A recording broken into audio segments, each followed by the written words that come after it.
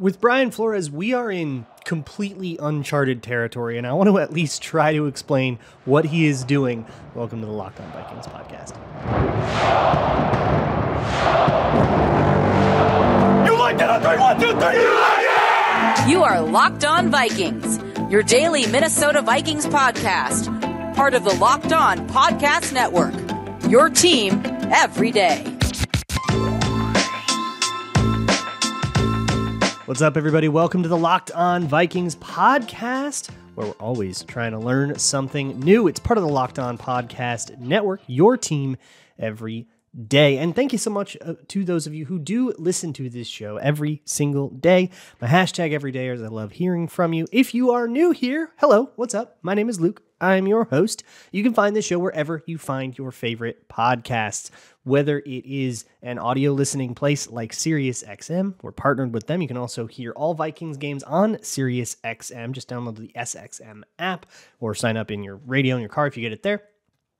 Um, you can also find the show on YouTube and Amazon Fire and Roku. Just download the Locked On Minnesota Sports app. Today's episode is brought to you by Game Time. Download the Game Time app, create an account, and use code Locked On NFL for $20 off of your first purchase.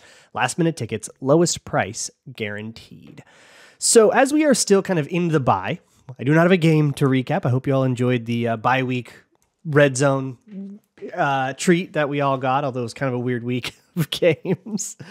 Um, so in lieu of that, let's keep talking about the Brian Flores defense. I talked a little bit about it last week in terms of like how they did on Monday Night Football against the Bears, but it's been a whole week since that game, so I want to sort of zoom out and go broad strokes. I have a plan for this week.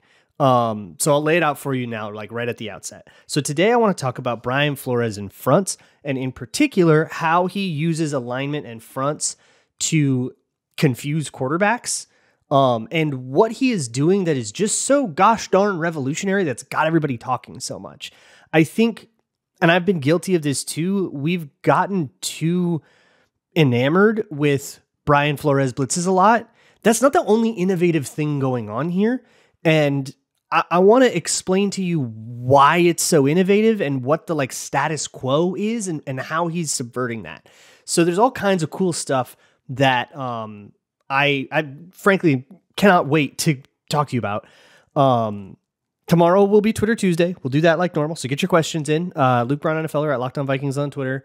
And then you can send an email to lockedonvikingspodcast at gmail.com if you have something longer, or similarly, you can fill out the Google form, which is always linked in the show notes. Leave a YouTube comment too. I'll get your questions there. Might just answer it right there, or I'll save it for Twitter Tuesday if I want to talk about it on the show. Um, so we'll do Twitter Tuesday, and then on Wednesday, I'll go to like the coverage side of it. So we'll do the kind of front seven, the run defense, all that stuff today, and then the front side of th- or the coverage side of things on Wednesday. And by Thursday, it'll be crossover Thursday. We'll be in Raiders mode, and we uh, we'll be back in the normal cadence of things. Okay, sound good? Good. Sounds like a plan. So, um, fronts. The reason I'm going into this much detail right now is not only because it's the bye week, but also because there was a piece that came out by Kevin Seifert over the weekend that connected a couple dots for me that just like exploded the entire world and and everything uh, fills out from there. In particular, uh, I'll link this in the show notes as well. If I forget, please yell at me. But it's an ESPN story about um, Brian Flores adapting or adopting a college defense. I guess both adopting and adapting a college defense, and in particular, the one from Pat Narduzzi, because he's at Pitt. And this is something that Brian Flores was really exposed to when he was with the Steelers because they shared some facilities. So he was really exposed to the Pat Narduzzi stuff that they are doing over there at Pitt and uh, got inspired and decided to couch some of those ideas and incorporate them into his own defense.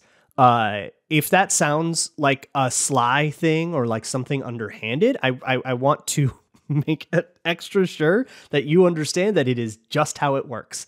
That is not sly or underhanded at all. That is a very well uh, established phenomenon. Everyone steals from everyone. That's why they call it a copycat league. So when I say stuff like, "Oh, we stole this" or "couch this idea" and stuff like that, that's um, that's a really normal and, if I'm being honest, encouraged thing. I think that that's good that he stole ideas from a college defense and found a way to adapt them to an NFL game that's like a really hard thing to do because the world is so different. Um, in particular, making the coverages work is really hard, but we will get to that. I just don't have time today.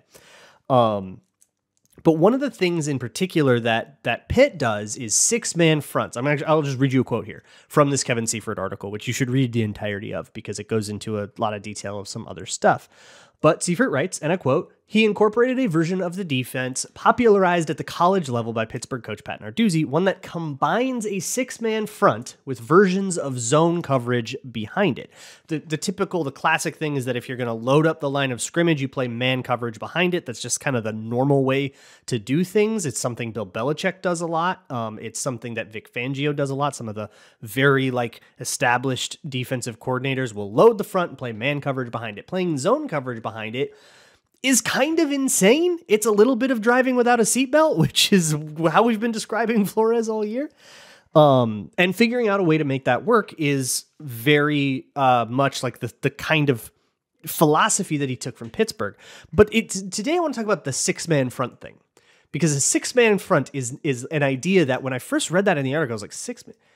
Oh, like that made the the wheels turn about the way that that Flores and the Vikings think about fronts. And to understand it, I have to go over some of the basic fronts that, like, if you don't know, you should know, so we can all get on the same page. And uh, then we can kind of talk about how Flores subverts that norm that we just talked about. So, normal fronts, um, typically, teams will sort of have a base front, right? 4 3 or a 3 4, we'll say. Those are the sort of like a 4 3 under or a 4 3 over. You can probably imagine a 4 3, four defensive linemen with three linebackers behind it, right? Uh, and under and over just tells you which side the nose tackle is on and which side the three technique is on, the, the other defensive tackle. Just tells you where the defensive tackles are. And I don't need to go for an over they're closer to the tight end. For an under, they're further away from the tight end. That's that's the whole deal of over and under. And then you'll have a 3 4, which is a lot of the same deal, but again, it is over and under depending on where the three technique is. If you want to know over and under, look at the three technique. So the guy between the tackle and the guard, if he is on the same side as the tight end, it is an over. If he is not, it is an under. There is your rule for 3 4 and 4 3 over and under. That's what it tells you. And if there's two uh, there's two three techniques, two defensive tackles is probably a different front.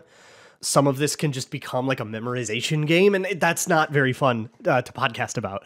So I'm not just gonna like start listing and explaining fronts here, but understand that typically you'll either live in a world where you've got four people on the line of scrimmage, four defensive linemen on the line of scrimmage, and then in a three four front, in the oldest oldest version the classic version from you know way back when it would be three people on the line of scrimmage and four linebackers. Nowadays that's more like two of those linebackers are actually edge rushers. Like Danielle Hunter is and quote unquote linebacker in this world right um, so it still kind of works out with those two guys on the edges, but you still have three quote unquote defensive linemen. So it turns a little bit more into like a five two, and that's the way I would describe it to someone if I were trying to teach for the first time what a what a, a, a three four over and under front are. I would say it's a five two, not a three four, and that's the way the Vikings have lived. Right, five defensive linemen. I'm not gonna. I refuse to call Danielle Hunter a linebacker um, through five defensive linemen, and then like Ivan Pace and Jordan Hicks behind them, or I guess it's now Ivan Pace and like Troy Dye um, behind that. So when I think four down front, I think Mike Zimmer, you know, Griffin and Hunter, and then like uh, Linval Joseph and I, Sharrif Floyd, right, or like Tom Johnson or whatever. There's your four guys, and they're your guys, and this is what the Vikings ran for like ever. I don't think they ran a three-four except in the '80s up until now. Um, now you have sort of five down where you've got your Harrison Phillips and then like Tonga and Bullard. And then on the outside, you've got like DJ Wonnum and Danielle Hunter uh, or Marcus Davenport when he's healthy. Like you've got those. So there's your five guys. Six man front, that's kind of weird, right? So there's a lot of different ways to get to a six man front. But to understand how the Vikings sort of took that idea and said, we're going to actually put another guy in the mix on the line of scrimmage, and how they can do that without getting screwed by the, uh, the offense just attacking wherever that guy left from, um, you have to kind of understand the idea of a base front. And what I mean when I say like basing out of 4 3 under or basing out of, um, you know, 3 4 tight or whatever, which is kind of what the Vikings tried to do last year. Um, And once you kind of understand that idea, then it all starts to click in place how Flores sort of adds and tacks on little bells and whistles to the fronts. And we're just talking about alignment here and how that can like confuse quarterbacks. Today's episode of Locked On Vikings is sponsored by BetterHelp. BetterHelp is online therapy made easy. So if, you, if you've been thinking about getting into therapy, therapy, but perhaps you're a little bit intimidated by maybe some of the stories that you've read about people who've had bad experiences with therapy and said, I don't, it's not for me. A lot of those people will just try one therapist and have a bad experience and assume all therapy is like that. But you would be stunned to find the difference from one specialist to another and how one person can really fit your needs and one person really can't. So actually like try a whole bunch. They have a, a little questionnaire that gets you matched with someone. And if it doesn't work, they'll help you find someone else until you find somebody that does work. They really want to get you hooked up. So if you're thinking of starting therapy, give BetterHelp a try. Visit betterhelp.com slash locked on today to get 10% off of your first month. That's betterhelp, H-E-L-P dot com slash locked on. Thanks again for making Locked On Vikings your first listen of the day. Uh, if this sort of topic interests you, I'm working on a larger explainer that goes into a much more comprehensive detail uh, over on Patreon, and I'll probably spin it into something at Wide Left as well. So patreon.com slash Luke Braun NFL. If you join me, you can always watch that stuff there. When this show ends, if you're watching on YouTube, you will be redirected to the Locked On Minnesota Sports 24 7 live stream. It is all Locked On Minnesota shows from this show, Wolves, Wild, uh, all the Locked On Minnesota Sports roundtables and stuff, all on a loop in a 24 7 feed. Just kick that thing on, put it on in the background while you work, and uh, just let her run. It is a 24 7 feed that is constantly up- updated with the new episodes of all of those shows. Pretty cool stuff. Uh, if you are not watching on YouTube, you can find that on the Locked On Minnesota Sports YouTube channel. Okay. So the base front that the Vikings had for years and years and years and years, I'm pre Zimmer all the way through the 90s, basically. Actually, thinking about it, I want to say like since Tony Dungy, but it might even be before that, was 4 3. The Vikings were a 4 3 team, and, and their base front would be either a 4 3 over or a 4 3 under, depending on if the other team liked to run strong or weak more. Essentially, if you like to run toward the tight end, we'll put our guys kind of shaded over that way and vice versa.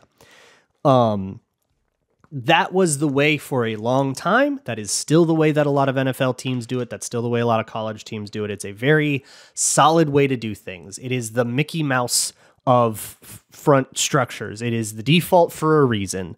Um, there's also 3 4, which you could call like the Minnie Mouse, also kind of the default, kind of for the same reason, um, which is, you know, 3 4 under 3 4. Uh, nowadays, the real in thing to do is 3 4 tight or 3 4 mint, which are fairly similar fronts that have three guys either head up or inside of the tackles. Um, so you'll have like a nose tackle that's usually like at a zero tech, maybe shaded on one side or the other of the center, and then like two guys between each tackle and guard, right?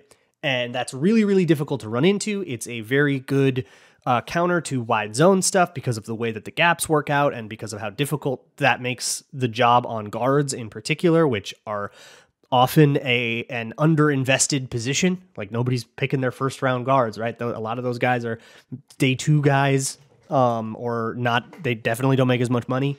So, kind of attacks that. And that's why that's such an in thing right now. It's what the Packers are doing. It's, I don't think it's what the Bears are doing. It's what the Vikings did last year.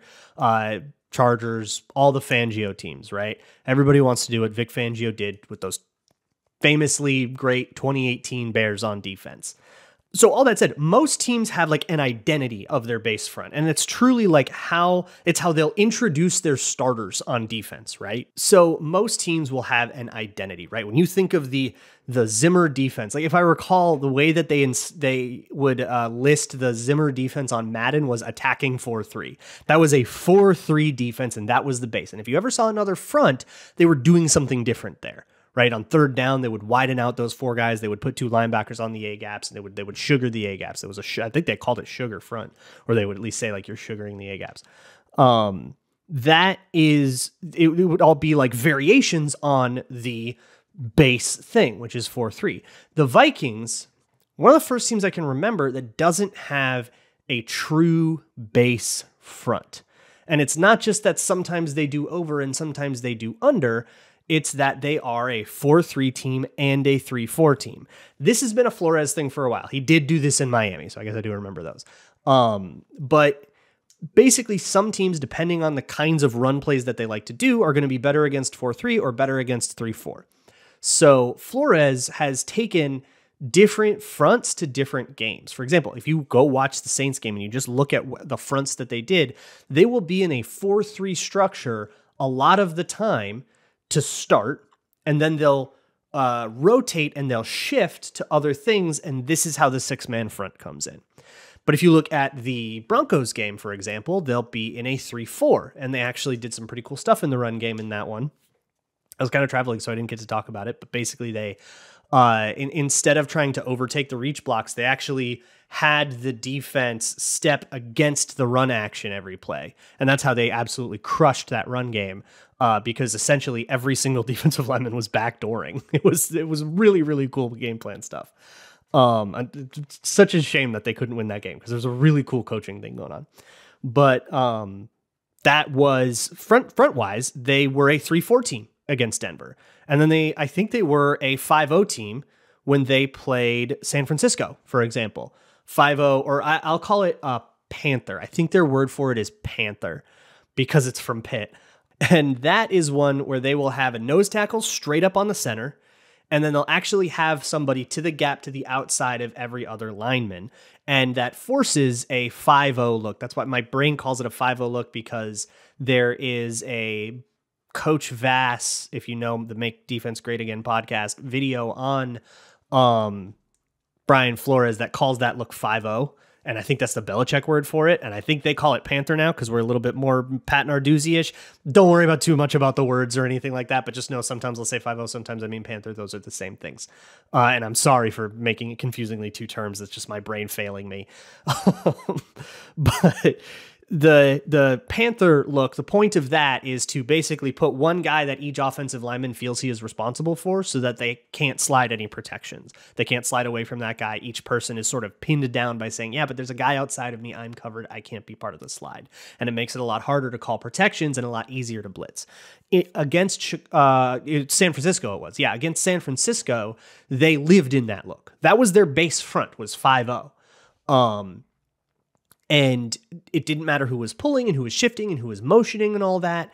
Uh, they would still be in those gaps, and essentially it freed up the linebackers to react to all that other pre-snap stuff that was going on, and it didn't have the the same effect, like anchored the the front down the defensive line down so that all those motions and shifts that San Francisco is doing that they want specifically to like move tackles and move edges over and, and get guys to shift a certain way, they would never do that shift. And the 49ers never got the look that they wanted.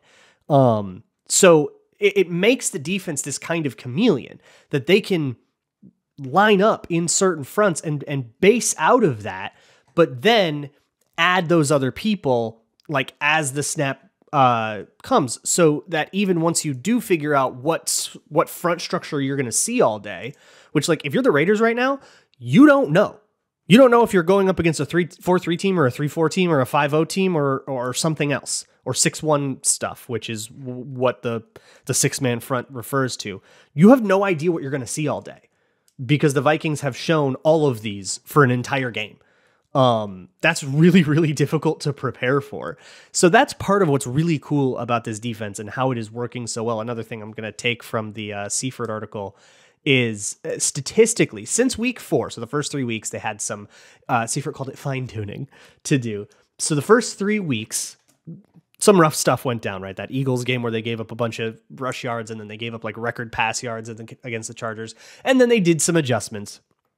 Since that, fifth in points per game, fifth in yards per play, third in EPA. Uh, that's from ESPN Stats and Info. Insane success since that fine tuning session after the Chargers kind of ripped him a new one. Um, that all stems from being difficult to prepare for in this way of being this chameleon that can become a 3-4 team, a 4-3 team. And it's what Flores talked about at the outset of the season. So probably should just listen to him. Um, so okay, this whole thing has been about six man fronts. How does they come in? Okay, that's now we're going to drive this home and actually get to that. That'll be next. Today's episode is brought to you by Game Time. Game Time is a great place to get last minute tickets. I had a huge headache recently trying to get tickets for the upcoming game uh, to the Raiders uh, to, in, in Las Vegas. My dad and I are going to go to Vegas and, and attend that game. And we were trying to figure out tickets in like August, and it was already hard.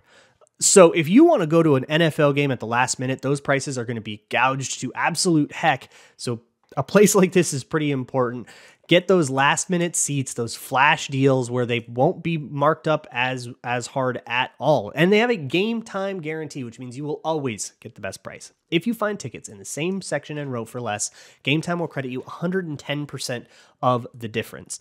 Uh, they've got their zone deals where you pick the section and then Game Time will pick the seats for you for an average of 18% savings because they know how to navigate exactly how stadiums price out their tickets and how those tickets go up and down on certain markets and stuff. They'll do all of that for you. So download the Game Time app and take the guesswork out of buying tickets. Create an account and use code Locked On NFL for $20 off of your first purchase. Terms apply. Again, create an account and redeem code L O C K E D O N N F L for $20 off. Download Game Time today. Last minute tickets, lowest price guaranteed.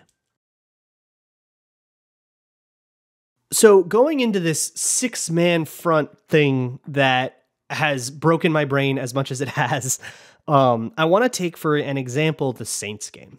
Both because the Saints are a relatively normal offense, like the Bears game isn't a great example because their game plan was so weird, and nor is the 49ers because that's a, again like a weird offense that doesn't look a lot like the other ones, but but the Saints run things fairly straight up. And that means that it's a pretty good example to study on how defenses respond and how they kind of want to live in a more controlled scenario. Um, so f- they based out of 4 3 in that one. So a lot of times it would be a 4 3 over front. So they would have the three technique on the same side as the tight end and a nose tackle on the opposite side, and then two edges outside the tackles. That was their base front. A few things they would do to make it, quote, six men on the line of scrimmage. For one, they would mug the mug the gaps with the linebackers. Now, those linebackers wouldn't just mug the A gaps like the Zimmer thing that we saw with Barr and Kendricks for years and years. Sometimes it would be the A and the B, sometimes it would be both Bs, sometimes it would be both A's, but they would kind of be wherever the defensive linemen weren't. There would be two linebackers essentially threatening blitz and a lot of times they would back off and play a normal linebacker game. Sometimes they would come and blitz. Um, and that became kind of part of what makes it difficult. So that's one way to do it. But one of the things that they absolutely loved to do was shift into I'm going to use the word tilt for the front. It's the Fangio word for this because it was very much popularized by Fangio. Uh, this is something that Donatell did as well. It's something that Fangio's doing over in Miami too, and has been for years. Um, which is six one. So if you take a four three and you take the two outside linebackers, I'm talking four three outside linebackers. You know Eric Wilson, right? The Sam in the Will, Anthony Barr back in the day. Um, those two would then walk down and threaten outside of the edge rushers. So you could call this a two four five if you prefer to, uh, and you want to call those guys linebackers. But that would create six men on the line of scrimmage. To me, that is a tilt front. If you have um, your four down linemen with two not D line guys, that can, they can be linebackers. It's often Metellus which is a, just a very Vikingsy thing to do right now. It's it's not like super normal to make that a safety, but the Vikings do it a ton because it's Metellus and they ask him to do everything. Um, and run the tilt front. The the most famous usage of the tilt front was it was basically how the Patriots beat the Rams in the Super Bowl a few years ago. If you remember that one that was like 13 to 3, it was this crazy defensive thing. Belichick used the tilt front. So it's really good against these wide zone defenses. And it's sort of the reason the Vikings thought Ed Donatell would be a good idea was because that front is so popular and it's still happening. But the Vikings aren't just lining up in it this year. They're taking guys and and walking them down. That was the most popular presentation they gave the Saints for the entire first half. Um, game started to warp kind of after that. So I only did the first half for the purposes of this because I felt like that was more neutral. And for that, that was like by far the most popular front they did. And then I clicked on the the Broncos game to watch the same thing, and I never saw it. I think I saw it like once. Like it was a completely different game plan. And so being able to come out in, in, different fronts like that and not necessarily having a quote unquote identity in terms of the front makes it really, really hard to game plan for the Vikings. How do you run on that? Because you don't know what you're going to see. You don't know who's going to be in one gap, in what gap, and you don't know what run plays will work well against that. Um, other ways to get to a six man front, let's say that they are basing out of 4 3 or out of uh, 3 4, which means the normal world is to have five guys on the line of scrimmage from the nose tackle to, you know, the Bullard and the Tonga to the Danielle Hunters and, and the DJ Wonnums. Um, those five guys on the line of scrimmage and they'll be shifted one way or another depending on its if it's over or under. And then you'll have i'm going to use the word a bandit. I don't think that's always the right word. I think some people will call it a stud on the other side. Some people will call it a joker that comes down. There's all kinds of different words. I'm going to use bandit. I apologize if that is the wrong word to you. But essentially that is a person who comes in from the second level from the back six of coverage basically and joins the party on the line of scrimmage to become that sixth man, often on the side that the Vikings have shifted to. So against the Bears, if they have taken their five guys and they shifted it over, right, that they lived in a in a 3-4 in the Bears. That's right. And let's say they shifted it away from the tight end, so 3-4 under. Um they will then bring down it could be Harrison Smith, Metellus, it was Troy Dye sometimes, it was Pace sometimes. Whoever that is will come down to the line of scrimmage and be like a sixth man to the outside of that tackle to the shift side, the call side, you might you might call it. And so that person was completely unblocked. Against the Bears, it was almost always Metellus. And they essentially put Metellus on Justin Fields duty for that game by having him be that uh, overhang, is another word, like that overhang defender. That extra guy on the edge that isn't accounted for by the offensive alignment, whose sole job would be to worry about the quarterback keep, basically. That was his whole job was to try to worry about Justin Fields running against him. And whenever they were in that front, it discouraged that run, and, and, Justin Fields would always give it away. He got some other runs on him in other presentations. But for this, that was kind of their deal. And essentially, what you get is two off the edge. So if the defense want or if the offense wants to run away from where you've shifted, you have two guys on the backside. One can freely pursue and chase it down. That guy's often Danielle Hunter. He's kind of quick. And one of them is taking away the subversion to this, which is uh, the the QB run that goes away from all the action. Well, there's two guys over there. You cannot do that cutesy thing. You have to run this straight up. And by the way, Danielle Hunter is chasing you while you do it, and that worked really really well against the Bears. So uh, there's your three ways to get to like a six man front. But what I want you to really take home from all this, if all of this has your like head spinning, a that's kind of the by design. It's supposed to make your head spin. Hopefully, it's making the Raiders' head spin right now. That's kind of why they want it to be so difficult to put together. But for me, what is most impressive is that the Vikings very rarely screw this up. The they have this stuff correct. The impacts that it has on run defense. They I haven't even gotten to the way that they exchange gaps and the way that they will do run stunts and and pass stunts, which are different things. Um, run stunts typically have uh, a defensive lineman and a linebacker exchanging gaps, whereas pass stunts are just the pass rushers, right?